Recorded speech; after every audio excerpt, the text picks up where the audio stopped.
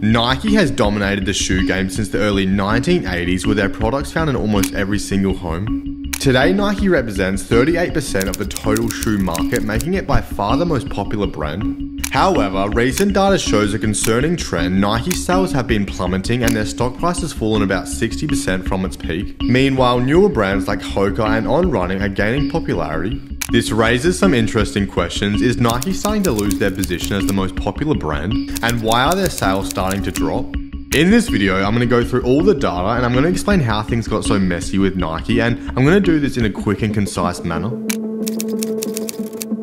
The story starts when the new CEO, John Donahoe, was appointed the new CEO in January of 2020. This new CEO was a bit of a strange pick for Nike as John has never worked in fashion or in sportswear but instead had worked with technology-based businesses such as eBay and software companies like ServiceNow. With this new CEO, the business model of Nike has drastically changed. Over the last 60 years or so, Nike's business model has been to design the products, hire contract manufacturers to make the product, and then sell them at their own stores or with wholesalers. But as times are changing and the new CEO's background is in tech, specifically working with eBay, the business model has moved more towards e-commerce. Nike has developed four different apps to try pushing this new digital strategy of selling their products. One is Nike Shoes, Apparel and Stories, the second is Nike Sneakers, the third is Nike Run Club, and the fourth is Nike Training Club. This push into the digital strategy is not necessarily a bad idea because out of the three ways of selling products, this has the highest profit margins, mainly because wholesalers aren't taking a cut from the products that are being sold and they also don't have to deal with staffing and location costs and everything else that comes with running a brick and mortar business business. So the more people that are buying their products through their digital systems rather than, you know, going through wholesalers or going to their stores, the higher their profit margins are. But here's where things get messy because only three months after the new CEO came in and started pushing for this new digital strategy, we had the lockdowns begin. And as everyone now knows, everyone was stuck at home, so the digital strategy was actually a huge success. Their revenue jumped from 39 billion to 46 billion, and profits grew from 4 billion to 6 billion. And during this time, their stock price shot up over 80%. What also fueled this surge was at the time people were being given out stimulus checks, so people had extra money, and when they actually did go out and buy Nike, you know, products, Nike saw higher profits because it was through their digital system. Another factor that drove the growth was during this time the resale market was also exploding and people were making a lot of money flipping shoes. There was one story of a 17 year old who made $200,000 selling sneakers that year. All of this was creating even more hype for their new limited editions that they were releasing. So on face value, this new digital system was a huge success. And the CEO said in an interview that he believed that this new trend of buying products on the digital system was going to become a permanent way that consumers would buy products even after the lockdowns.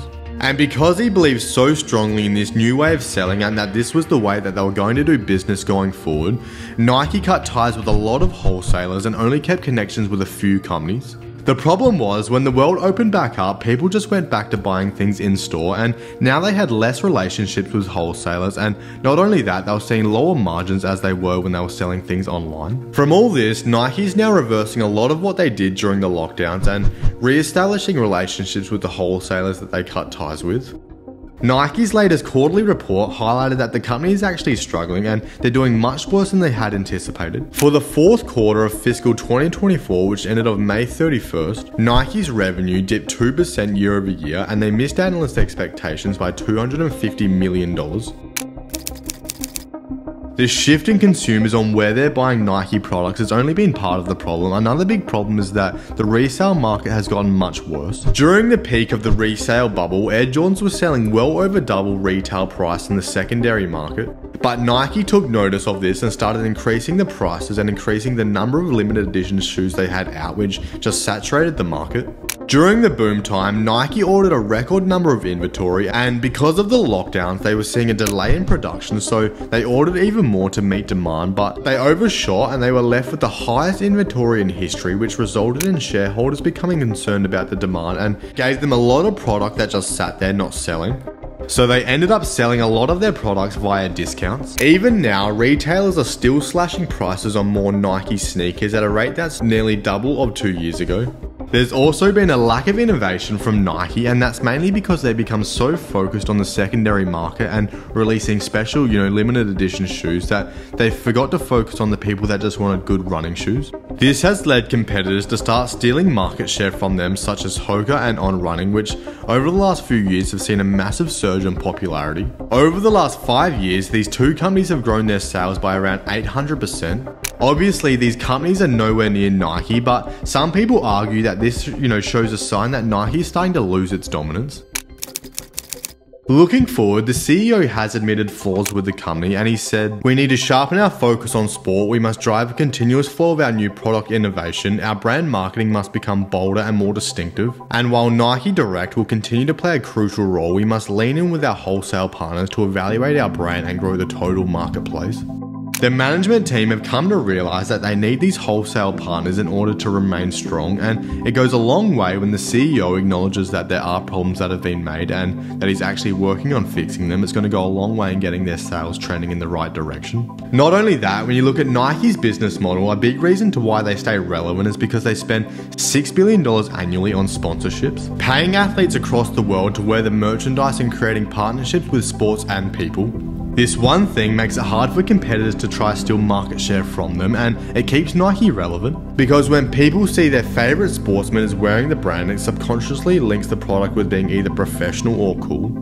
Overall, Nike still seems to be dominating the market, and even when it comes to their digital sales, that's still trending up in the right direction. And when looking at Nike's revenue broken into segments, there's three main categories that make up their total revenue. Shoes represent 68%, apparel being 28%, and equipment representing 4%. So shoes are a main factor, but they still bring in a lot through their other sources.